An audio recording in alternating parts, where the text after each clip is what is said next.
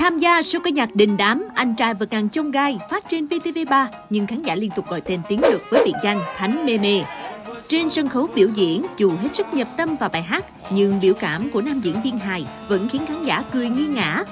À, Tiến Lực xin chào uh, quý vị độc giả của báo Thanh niên. À, Lực rất là vui. Thật ra là Lực Lực bất ngờ khi mà được mọi người yêu thương và gọi là thánh Mê me uh, à, trong cái công diễn vừa rồi và Lực rất là hạnh phúc vì đây là lần đầu tiên Lực được như vậy.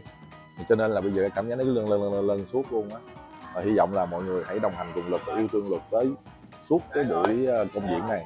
Dù mất nhiều công sức luyện thanh và vũ đạo, Tiến Luật vẫn chưa thể tạo dấu ấn với khán giả ở vai trò mới. Nam diễn viên không buồn mà bày tỏ sự thích thú, hào hứng khi được khán giả yêu thương. Đó là được rất là mừng chứ, là vì là cái máu hài của mình vẫn còn mọi người à. Đó là nhiều khi là người diễn viên hài thì mình được gọi là diễn diễn viên hài là mình đem tiếng cười để cho khán giả bằng hình thức này hoặc hình thức khác cho nên là khán giả cứ mãi yêu thương như thế này thì mình lại sướng nhiều hơn nữa trong tập 2, Anh trai vượt ngàn chông gai, màn trình diễn của Tiến Luật thu hút sự quan tâm của khán giả. Nam diễn viên chị 13 được xếp chung đội với Liên Bỉnh Phát, Trương Thế Vinh, Thiên Minh và Duy Nhất, cùng thể hiện ca khúc phía sau một cô gái.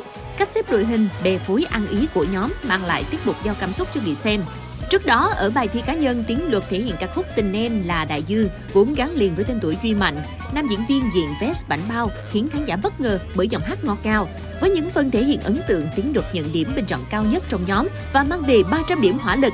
Không thì luật ra, thật ra thì uh, Luật và Bin uh, rất là gọi là chuẩn bị rất là kỹ cho cái màn công diễn đó cho những cái màn công diễn sắp tới và luật rất là may mắn khi được làm việc chung với một cái team rất là chuyên nghiệp và mọi người có chung một cái năng lượng là tất cả khi mà chỉ cần một ý tưởng ra là tất cả mọi người chung tay góp sức cùng làm và cùng phát triển ý tưởng đó và ai cũng lo cho phần biểu diễn của mình hết Điều đặc biệt là trước khi tiến đột ra sân khấu, Thu Trang đã gửi đến nam diễn viên đoạn clip động viên tinh thần.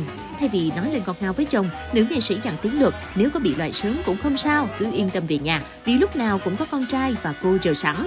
Đồng thời Thu Trang cũng mong 32 anh tài còn lại có thể yêu thương và chở che diễn viên Damis vì anh kiếp già nhà em ra đường còn thời dài lắm anh sợ vợ lắm anh sợ chị trang lắm. Thật ra thì lúc đầu anh cũng bị hơi bị hoang mang á tại vì cái người suối mình chơi cũng là vợ mình rồi cái người mà muốn mình bị loại cũng là vợ mình mình không hiểu luôn á. Đúng là phụ nữ khó đoán thiệt. Không anh anh không đặt mục tiêu mình đi tới vòng nào mà anh chỉ đặt mục tiêu là mình phải chơi một cuộc chơi đúng nghĩa và chơi vui nhất. Đem tới cho khán giả nhiều cảm xúc nhất là mình thành công rồi vì nói nói thật ra thì đây là một chương trình giải trí chương trình giải trí thì phải có vui, có buồn. Thì luật sinh luật sinh luật sinh an giang sẽ gánh cái phần vui. Còn ai buồn thì ai muốn gánh phần buồn gánh cho luật sinh gánh phần vui.